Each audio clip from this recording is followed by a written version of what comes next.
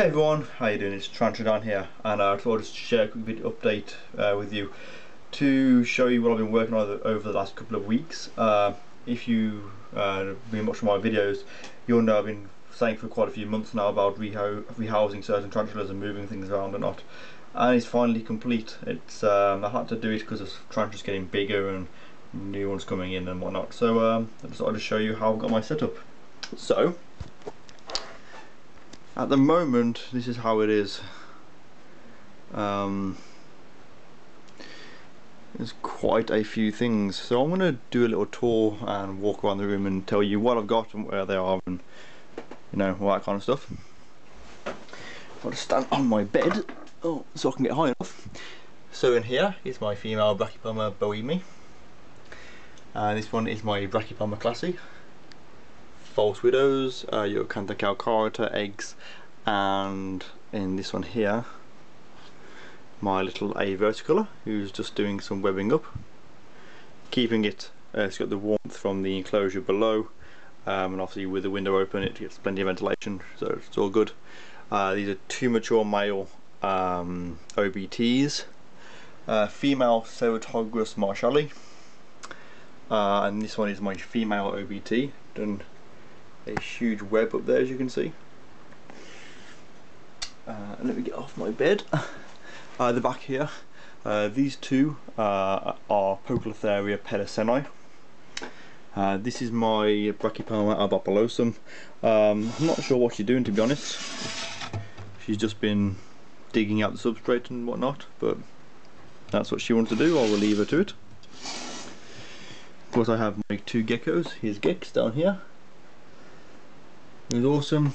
And my cheeky female just popping her head up. um, and here is my Psalmopoeus irminia, a Poecilotheria pederseni, a HMAC. Uh, these are both uh, kind of small juveniles in here. This is an adult female. Uh, this is my uh, male Eurycantha calcarata and I will be getting some more um, adult females to put in there with him you can see how big that tank is for himself, which is a bit of a shame. In here, this is my wolf spider, who's actually hiding. If you saw my wolf feeding video uh, that I did um, this afternoon, you'll know that the spider is actually hiding just down here. Uh, this is my um, Heterometrus spinifer, the uh, giant Asian scorpion. Um, in here is my, um, I'd say, the juvenile uh, Brachypelma albopilosum and in this one here is a Brachypelma vagans round about the same size. You know probably inch and a half two inches. Just started to get the uh, adult colours. I have uh, another Poecilotheria pederseni in this coffin tank here. Uh, another one in this enclosure here. Uh, these two are definitely females and I believe this one in as, as well. I believe these were males so two males, three females, which is quite good. Uh, and here are my jungle nymphs. Uh, you can see the female in plain sight, just here. And the male is actually, you can just see that bit of the tail there. Looks like the plant, but that's actually its tail. uh, tail end, rather. Uh, down here is my Grammostola pulchra, the Brazilian black. Uh, my Indian rose mantis, who's actually out and about you can just see it on the side there.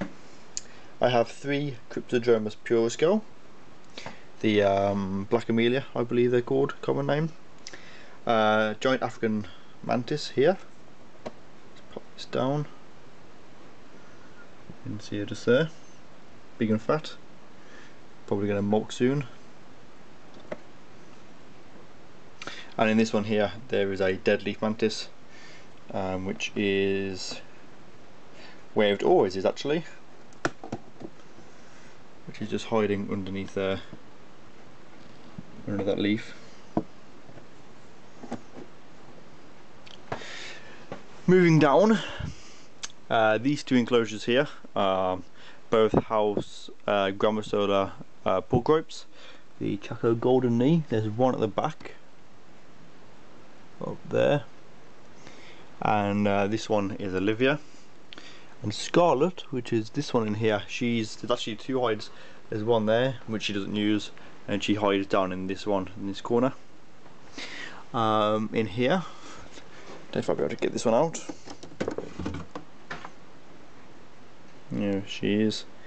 My huntsman. It says Chaco golden knee. It isn't. you can see my huntsman is there. Getting big. Um, it eats like honestly, it's unbelievable how much that spider eats. Um, down here, okay, it's actually up there. If you can see or not, is my Nhandu chromatus, mature female. Uh, just lots of food and things down there, empty enclosures and grub for feeding um, feeders. Over here, the Brachypelma albiceps up there with some food that she's not eaten, so she could molt, which would be quite nice. Um, this one's my uh, B. smithi, again refusing food, so hopefully she will molt as well. Uh, as my mature male Nhandu chromatus. Uh, this is the Steve. You can see see his hooks there on both of his legs. You see he's got a much bigger enclosure, plenty of dirt for burrowing. Uh, this one is my Brachypelma emilia, my favourite of my brackies. And in this one up here, for some reason it likes to hide up here in the lid. Here's my um, Brachypelma kahlenbergi. So, um, yeah. Oh, and of course, how could I forget?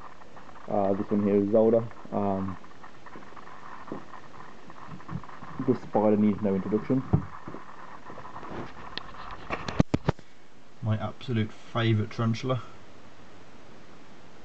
Huge girl.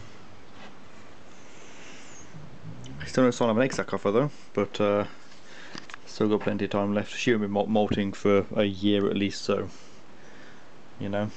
And of course, up here is my huge um, giant Asian scorpion. So yeah, that's my setup at the moment. I've been working on this for the last few weeks, rehousing a few teas at a time and more than anything is trying to get the layout right because it's just the room. I don't have room for anything. Um, I mean, I've got like my bed here. Um, and then it's literally just tanks all the way around with the exception of my chest of drawers and my wardrobe and my door. So uh, I can't get any more tanks in here really. Um, though there are ways for me to overcome that. Um, so yeah guys, this is a quick look at my, you know, my setup at the moment. You can see it's um, going up again, obviously, especially with the addition of some slings that I'll be having in the uh, near future. It's going to be full. I have to get some shelves, put up above my bed or something like that. You can see my uh, my wild widow up there, just chilling out. And I think there's another one as well, which is up here doesn't bother me though. Um, so yeah guys that's my room my setup. I hope you um, like it I suppose. Um, yeah I'll also be getting some new additions in the week. I've got uh, five uh, flower mantis coming in the week. Uh, probably only um, like 13 stars so about that size. But I'm getting five of them which should be all uh, you know pretty awesome. Um, so guys, if you'd like me to do an update and maybe show you the inside of the enclosures more than that, let me know what you think. Um, any feedback would be greatly appreciated. Uh, like I said, I've got plenty more editions coming in the next few weeks to add to my uh, to my collection. Um, and yeah guys, as always, thank you for watching, thank you for, for your continued support and input, I do appreciate it. And uh, yeah guys, take care of yourselves, and I will speak to you soon.